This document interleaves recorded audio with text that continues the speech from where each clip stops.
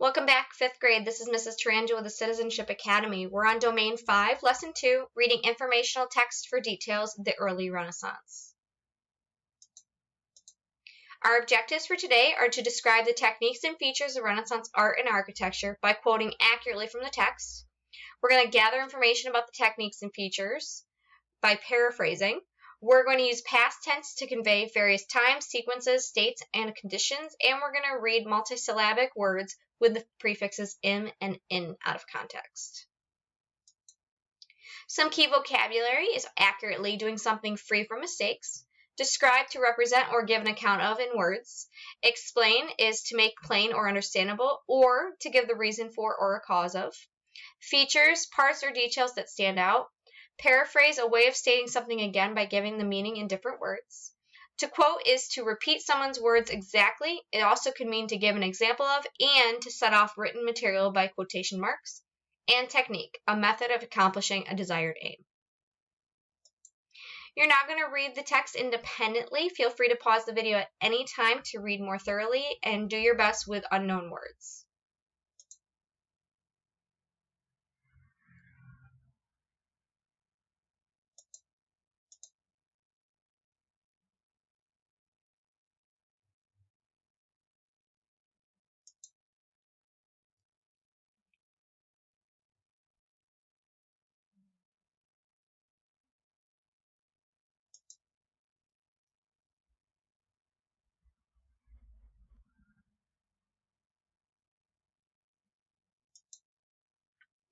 Okay, so now what we're going to be doing is we're going to be reading to learn about techniques and features of Renaissance art and architecture. So you're actually going to be able to go back and reread the chapter you just read, but this time when you go back and read it, you're going to look for those technique and features of Renaissance art um, and architecture and what made those special. So then you're going to complete the chart that's provided below. And we're going to be working on quoting accurately from the text. So when we quote accurately from the text, we're pulling words exactly as they are written from the story. So you're going to create a chart that's just like this on a separate piece of paper. On the first column, it should say technique or feature. What technique or feature did you notice in the text that was special? Um, it could be a stat, you know, their statues. It could be their paintings. However, whichever one was interesting, I want you to pick at least two or three to um, to figure out, and you're going to identify them in the first column. Your second column is quoting from the text. Where did it describe that feature or um, technique? And you're going to pull that that quote exactly from the story. That means you're actually copying it directly from the story. Make sure you include those quotation marks that shows that you're pulling from the text um, at the beginning at the end of your quote. And then give me the page number that you found it on. Now you'll notice that I left that last column blank. You're going to leave that blank for now. We will fill this in. Just make sure you leave it blank just for now and be sure to take the time to go through this story and find at least two or three techniques or features. So our word work for today is embodiment. In this strong, watchful warrior, the people of Florence must have seen the embodiment of their own spirit. An embodiment is someone or something that is visible representation or example of an idea or concept. This word is a noun. Okay. Now, in our vocabulary that we learned today, we talked about paraphrasing. Paraphrasing means you're going to put your information in your own words. The reason that we paraphrase things is because it helps our brains to decode something that we're reading and puts it into a way that's more understandable for us. So it kind of breaks it down to be more reader friendly, I guess. Uh, so that's why we paraphrase a text. Now, what you're going to do is you're going to paraphrase based on what you've created previously. You in the previous part of this lesson, you should have already reread the text and completed that chart with at least two or three features or techniques of the art and architecture that you read in the chapter. Then you were also supposed to quote specifically from the text, copy those words. Now what you're going to do, and I'm going to go back a second, you're going to use this last column to paraphrase. So, for example, if I talked about the vanishing point, So I'm going to go back again. This is an example of a vanishing point. You'll notice how in this painting it looks as if the road is ending. It's showing how the road is kind of closing off. And same thing with this painting.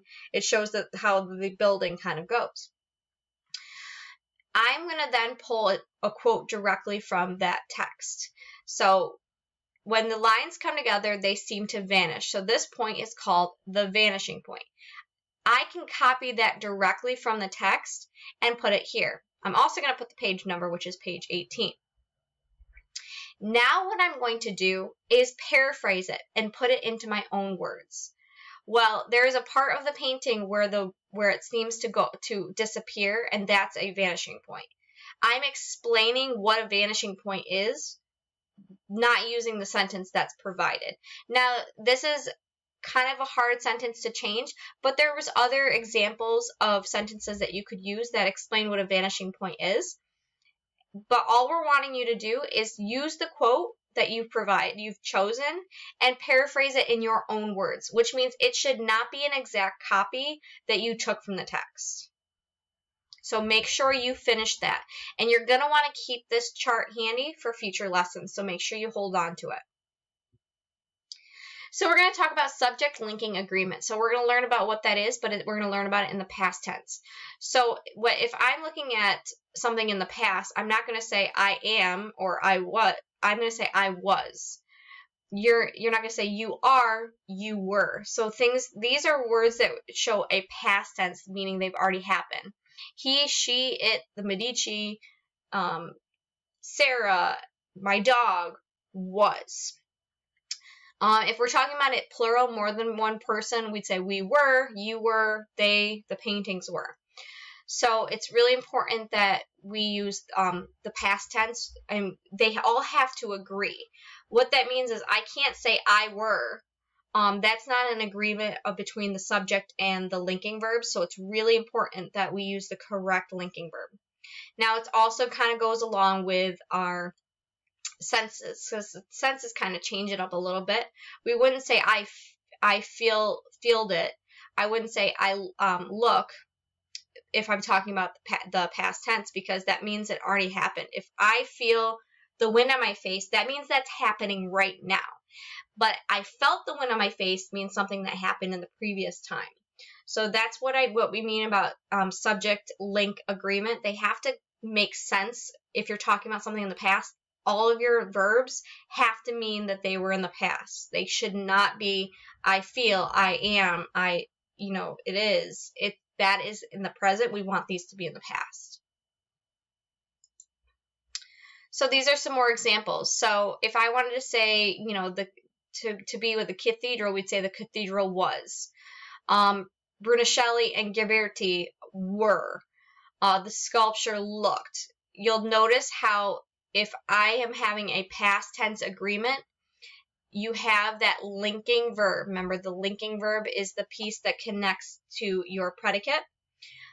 It has to agree with what you're saying. If you're talking about something in the past, it has to agree with the linking verb. Okay? Okay, and we're going to talk about some prefixes that we could add to these words. So if we're talking about the word measurable, remember that's the root word, that's the main word, and we add the im prefix in, it's now immeasurable. Notice how that also changes the meaning of the word. So now it's the um, too large in size and the amount to be measured. So measurable means I can, if I were to pour some, pour water into a cup, it's measurable. I know exactly what's in it. But if it's immeasurable, it means I cannot measure this item. So notice how it changes that meaning. Mobile to immobile. If something's mobile, it moves. If it's immobile, it doesn't move. So just by adding that prefix, it's changing the meaning. Patient, impatient. Polite, impolite. Correct, incorrect. Definite, indefinite audible, inaudible, complete, incomplete. A lot of these words you can even say, see are opposites. So that's kind of a nice way to think about it. That is the end of lesson two for today. We will see everyone in lesson three.